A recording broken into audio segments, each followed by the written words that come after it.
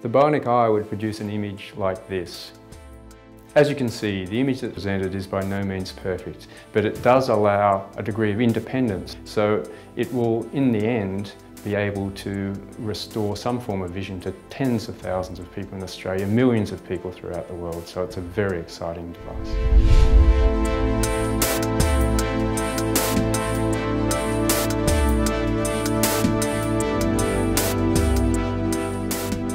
This is our prototype bionic eye. It consists of two cameras that capture an image. They're mounted on these glasses. The image is sent to our processing unit that processes the image and converts it into a series of stimulation commands that are sent to a transmitter that is mounted here behind the ear. So that sends these, these commands wirelessly to the implanted device.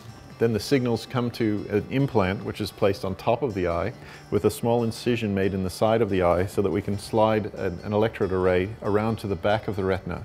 Now the back of the retina is roughly there and that's where our electrode array sits and it uh, receives these instructions from, from Nigel's system and that causes a signal to go down the optic nerve and be interpreted as vision by the patient. 15 years in the making to get to this point and it's been a very long journey. So here is our current generation of chip.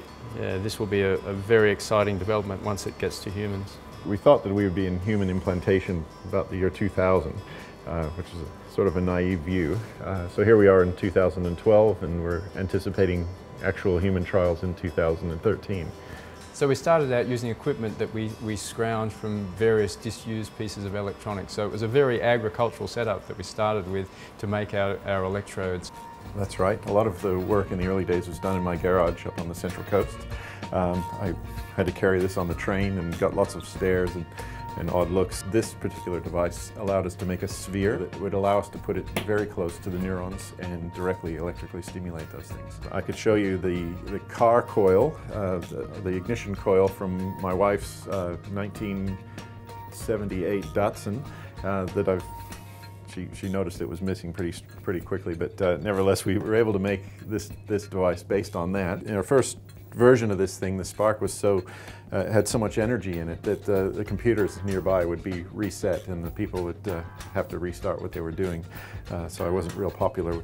While Gregg was doing all the hard work, I was racing around trying to find some money to resource the project. It was a very difficult task at that time. So that's why we have devices such as, as this, where we had to make things from, you know, uh, Datsuns and uh, stereo equipment and old televisions and things.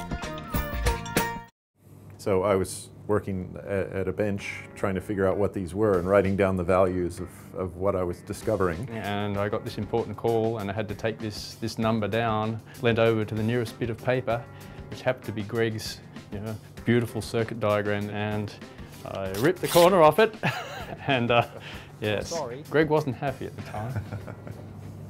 Shocked, I guess. Since then, we now have a million dollar laser that allows us to, to, make our electrodes with exquisite quality and precision. So the progress that we've made is, over the last 10 years has been absolutely astounding. This is the latest chip that we have that's at the heart of the implant. So this, this particular device does 14 channels of electrical stimulation simultaneously. Uh, so what we were able to do with this device is, is repaint the picture to the patient much faster than we could before. So over in the corners of this, uh, we put our family members on there, our children and our wives. It was put on there initially for good luck, and uh, the first chip that we designed here worked.